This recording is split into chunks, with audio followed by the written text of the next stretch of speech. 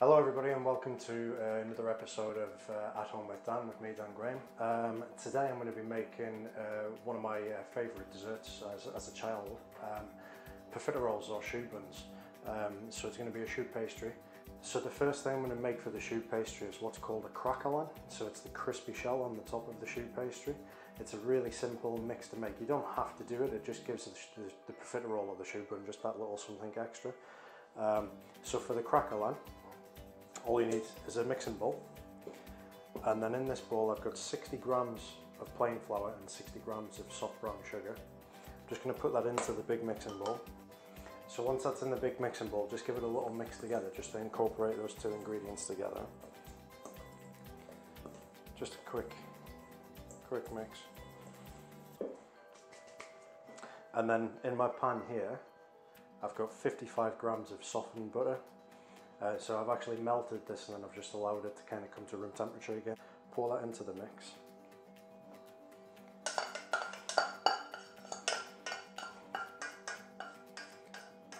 Get all in you. And then what we're going to do is just give that a really good mix together so it creates a really thick kind of paste.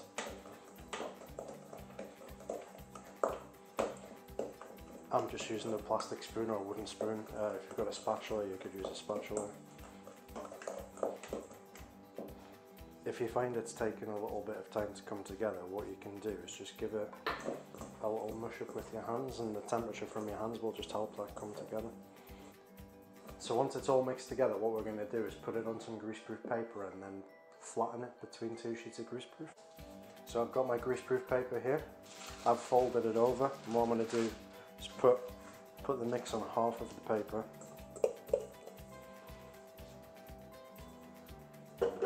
like so. Push it down. And you can see as you start pushing it down, it starts to um, come together as a bit of a pastry. And then just fold over the greaseproof over the top, so you've created a little bit of a sandwich. So once you've done this, you can you can use your hands to push it down, or if you wish, you can use a rolling pin. Just makes it a little bit easier and you just want to roll it out nice and thinly. So it's like two or, two or three millimeters thick. Right guys so that's nice rolled out nice and thin now. Got that onto a tray. What I'm going to do now is whilst I'm making the choux paste is I'm going to put this in the fridge and just let it firm up.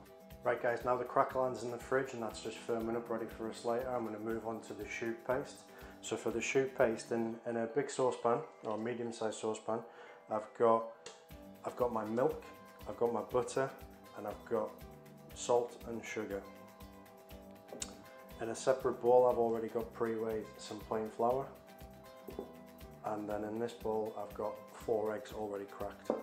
So what we're going to do is put the pan, the pan with the milk and the butter and salt and sugar, it's going to go on the stove. And what we're looking is to slowly bring that up to the boil and let the butter melt into the milk and, and the salt and the sugar is going to dissolve into it. Once we get to that stage we're then going to add the flour. Just got a spatula here which I'm going to do that with. So as the butter starts to melt into your milk mix just give it a little stir with a spatula. That'll look a little bit like an oil slick on the top but that's fine don't worry about that. Just keep it moving a little bit because you don't want the milk to catch to the bottom of the pan. Milk tends to catch to the base of the pan really quickly.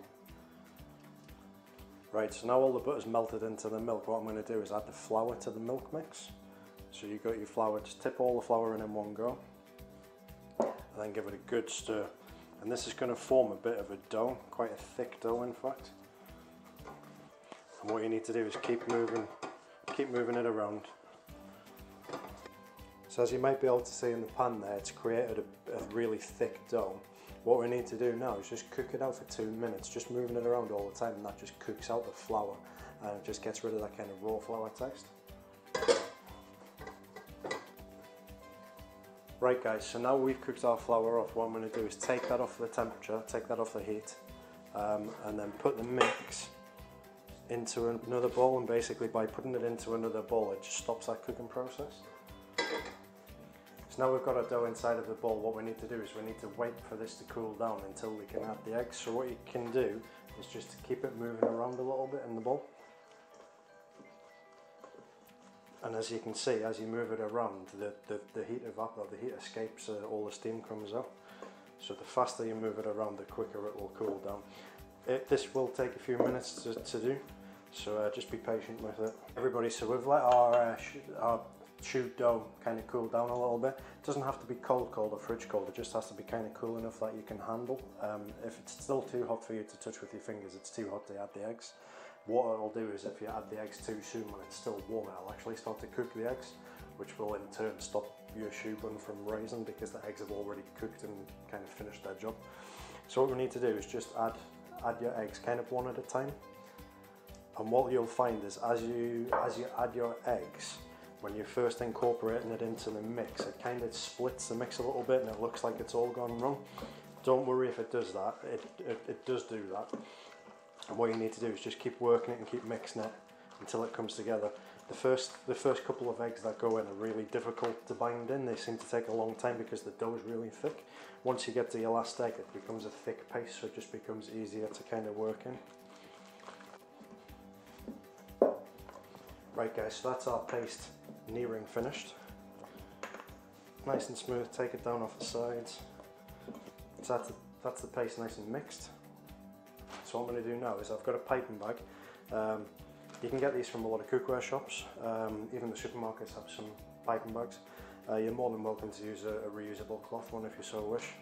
Um, so what I'm going to do is I'm just going to put the choux paste into the piping bag.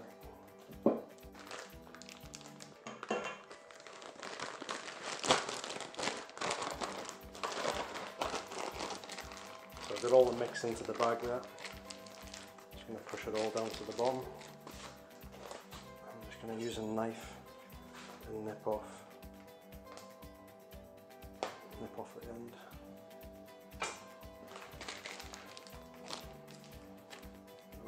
Just squeeze it to the end and then we're ready to pipe. So just nip the end off and we're ready, ready to pipe it now. So I'm just going to get a couple of baking trays. So I've got some pre-lined trays here. I've lined them with this uh, non-slip silicone mat. Uh, you can use greaseproof paper if you wish. Little tip if you do use greaseproof paper, just put a little touch of the choux paste in between the tray and the paper and it'll stick the paper down. Otherwise if you're going into a fan assisted oven you'll find it waves around all over. So piping it onto the tray, little tip that I do, so if you push everything down and use your finger, your index finger and your thumb, pinch it together and then wrap the excess bag around your index finger and then twist and you've basically locked off so everything's always going to come out the nozzle as opposed to going back up the piping bag. what I'm going to look for is kind of like two to three centimetre little dollops of the mix.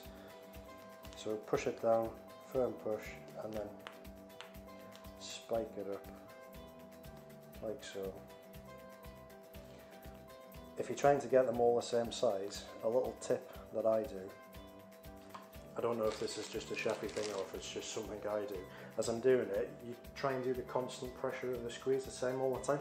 And I tend to count, so I'll count like one, two, three, lift, one, two, three, lift, one, two, three, lift, and then you should get the same size all the way across.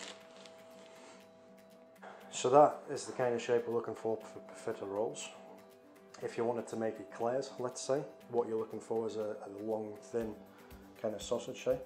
So again, just push constant pressure gently across. Right, so that's all our mix fully piped out. I've got one tray of profiteroles and I've got one tray of eclairs. Right guys, so as you can see, I've got the craquelin out of the fridge. It's set up and it's nice and firm now. So just peel back the top layer of the greaseproof and then using a little cutter, what I'm going to do is just cut little rings out and then pop them straight on top of the choux paste. And what the craquelin does is it melts down over the top of the choux bun and it kind of crystallizes and gives it a really nice crispy texture on the top. So we just need to repeat that until they're all done.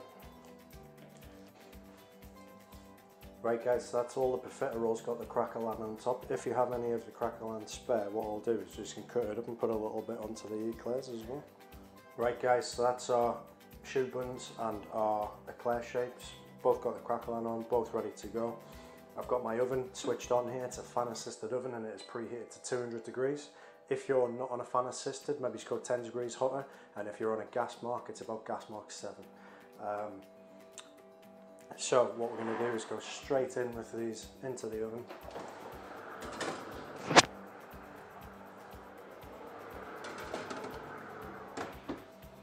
and our choux buns are going to take roughly 12 to 15 minutes to cook. So what we'll do is we'll give them 12 minutes to begin with and we'll check them after that. And what we're looking for is a really nicely raised, light, golden brown, really light and fluffy choux bun.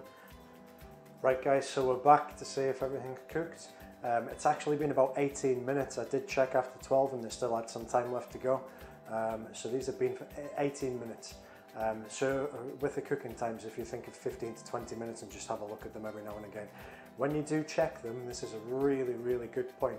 Check them just through the oven door, just look at them to see what they're looking like and how golden they are. With choux pastry, if you open the oven door and let all the steam and the heat out, there's a chance that they may collapse. So just leave them in the oven and it's always best actually just to err on the, on the side of caution and just give them a few extra minutes and that'll just dry them up and crisp them up so they don't collapse on themselves when they open. So as I say, mine have been in for 18 minutes now. I'm just going to take them out and see what they're like.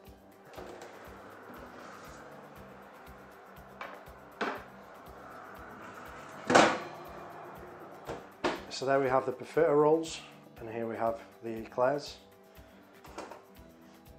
So as you can see, they've all risen up really nicely. The crackling has gone nice and crispy on top. They've all puffed up. They're quite close together, but, but they're not touching, which is, which is great, what we're looking for. Next thing we need to do now is just transfer these onto a cooling wire. Um, just let them cool. As soon as they've gone cold, what we can do is we can then fill them with whatever filling we want. Right guys, so our choux buns have now cooled. They're, they're ready to handle now. Um, so I've already got a creme patisserie made. Um, it's, it's one I've made earlier, obviously.